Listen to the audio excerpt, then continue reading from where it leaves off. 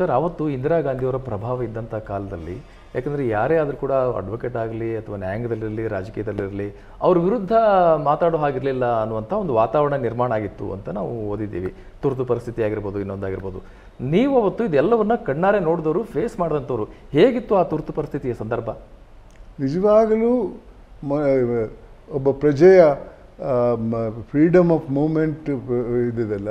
ಅದರ ಮೇಲೆ ಇದ್ರ ಬಹಳಷ್ಟು ದುಷ್ಪರಿಣಾಮ ಆಗಿತ್ತು. ಯಾರಿಗೂ ಸ್ವತಂತ್ರವಾಗಿ ಮಾತಾಡೋಕ್ಕೆ ಸ್ವತಂತ್ರವಾಗಿ ಇರೋಕ್ಕೆ ಸಾಧ್ಯವಿರಲಿಲ್ಲ ಆ ಇದರಲ್ಲಿ. ಪ ತುರ್ತು ಪರಿಸ್ಥಿತಿ ಅಧಿಕಾರದ ದುರ್ಬಲಿಕೆ ಭಾಳಷ್ಟು ಆಗಿತ್ತು. ಭಾಳಷ್ಟು ಜನರ ಮೇಲೆ ಅತ್ಯಾಚಾರಗಳು ನಡೆದಿದ್ದವು ಸತ್ತವರು ಉದಾಹರಣೆಗಳು ಭಾಳಷ್ಟು ಇವೆ. ಇದನ್ನೆಲ್ಲ ಕಂಡಾಗ ಅವತ್ತು ಪ್ರಜಾಪ್ರಭುತ್ವ ಈ ದೇಶದಲ್ಲಿ ಇರಲಿಲ್ಲ ಹದಿನೆಂಟು ತಿಂಗಳು ಅನ್ನೋದು ನನ್ನ ವಿಚಾರ.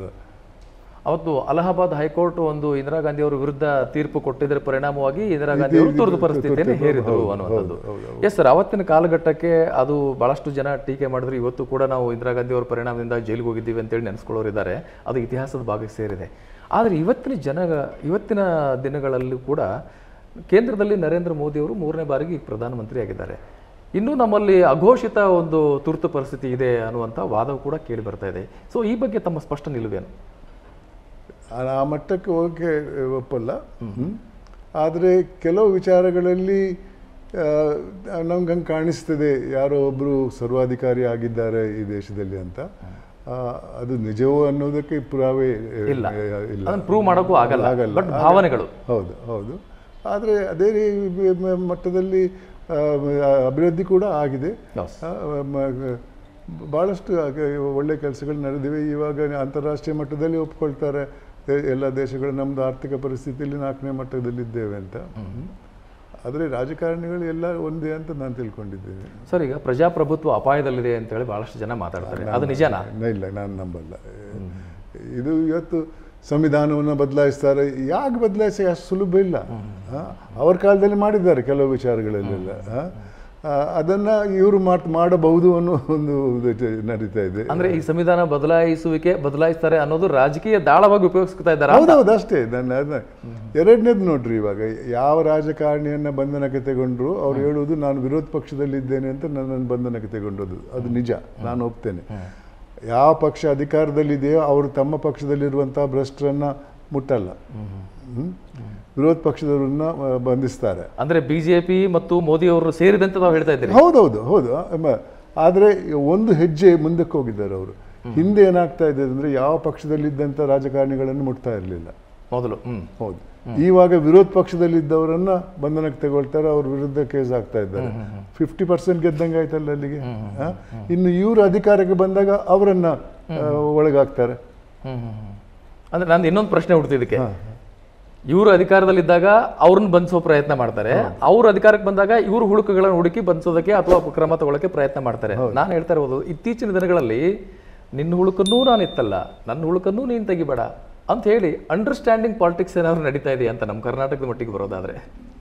ನಂಗೆ ಗೊತ್ತಿಲ್ಲ ನನ್ನ ಮಾಹಿತಿ ಇಲ್ಲ. ಆದರೆ ಇಷ್ಟು ಮಾತ್ರ ಹೇಳಬಲ್ಲೆ ನೂರರಲ್ಲಿ ತೊಂಬತ್ತೊಂಬತ್ತು ಜನ ವಿರೋಧ ಪಕ್ಷದವರು ಇದ್ದಾರೆ ಅದರಲ್ಲಿ.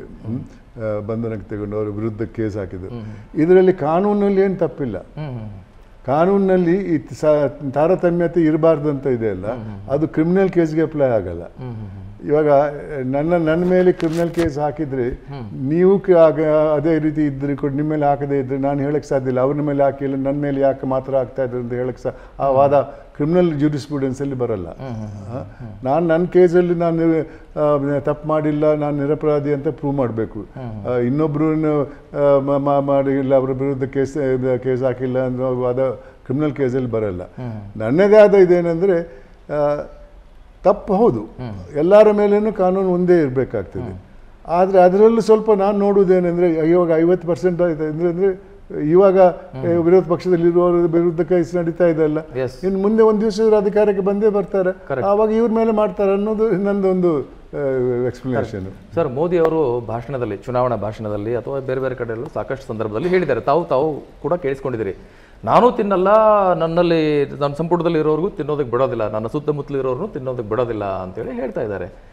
ನನ್ನ ಪ್ರಶ್ನೆ ಏನು ಅಂತಂದರೆ, ಈ ಕರ್ನಾಟಕದಲ್ಲಿ ಬಸವರಾಜ ಬೊಮ್ಮಾಯಿ ಅವರು ಸರ್ಕಾರ ಇದ್ದಂಥ ಸಂದರ್ಭದಲ್ಲಿ ಗುತ್ತಿಗೆದಾರರ ಸಂಘದವರು ಒಂದು ಆರೋಪವನ್ನು ಮಾಡ್ತಾರೆ. ಏನು ಅಂತಂದರೆ, ನಲವತ್ತು ಪರ್ಸೆಂಟೇಜ್ ಕಮಿಷನ್ ಕೊಡಬೇಕು, ನಮಗೆ ಹಣ ಬಿಡುಗಡೆ ಮಾಡ್ತಾ ಇದ್ದಾರೆ, ನಮ್ಮವರು ಸಾಯ್ತಾ ಇದ್ದಾರೆ ಅಂತೇಳಿ ಆರೋಪ ಮಾಡೋದಲ್ಲದೆ ಪ್ರಧಾನಿ ಅವರಿಗೆ ಪತ್ರ ಕೂಡ ಬರೀತಾರೆ.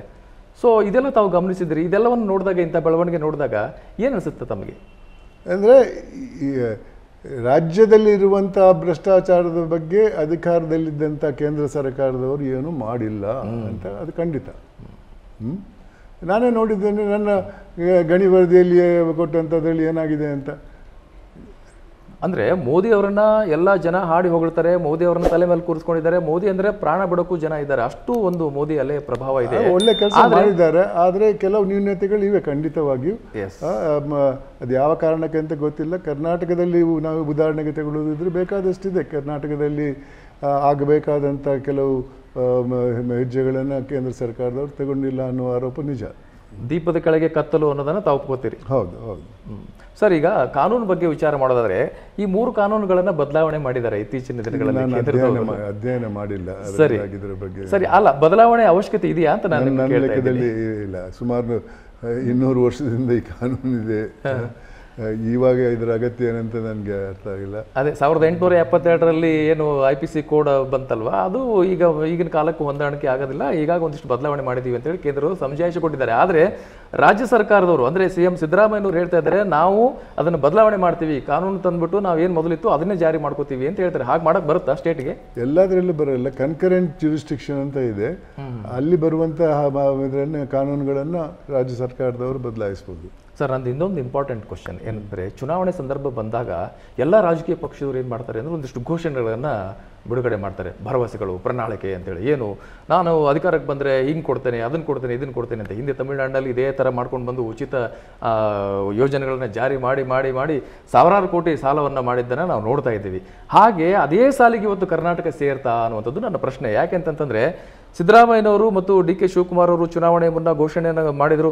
ಪಂಚ ಗ್ಯಾರಂಟಿಗಳು, ಐದು ಗ್ಯಾರಂಟಿಗಳನ್ನು ಕೊಡ್ತೀವಿ, ಉಚಿತ ವಿದ್ಯುತ್ ಕೊಡ್ತೀವಿ, ಬಸ್ ಕೊಡ್ತೀವಿ, ಅದು ಕೊಡ್ತೀವಿ, ಬಡವರಿಗೆ ಹಿಂಗೆ ಮಾಡ್ತೀವಿ, ಹಂಗೆ ಮಾಡ್ತೀವಿ ಅಂತ ಮಾಡಿದರು.